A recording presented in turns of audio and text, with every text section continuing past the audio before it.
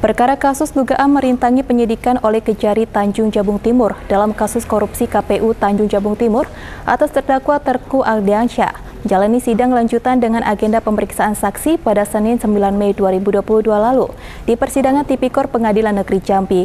Dalam persidangan, jaksa menghadirkan dua orang saksi yakni Sumardi dan Hasbullah.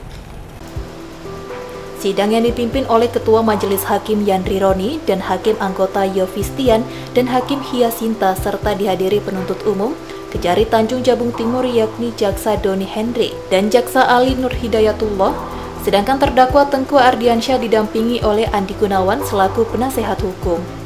Dalam sidang tersebut, jaksa menghadirkan dua orang saksi yang sebelumnya juga merupakan terdakwa dalam perkara korupsi KPU Tanjung Jabung Timur, yakni Sumardi, Sekretaris KPU Tanjung Jabung Timur, dan Hasbulo, Bendahara KPU Tanjung Jabung Timur.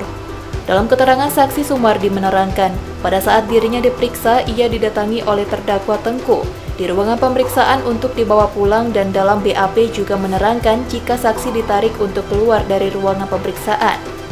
Selanjutnya, saksi Hasbulo menerangkan bahwa saksi Sumardi mengatakan bahwa dirinya ditarik oleh terdakwa untuk dibawa pulang dari ruangan pemeriksaan pada saat penyidikan. Iqbal, Jek TV, melaporkan.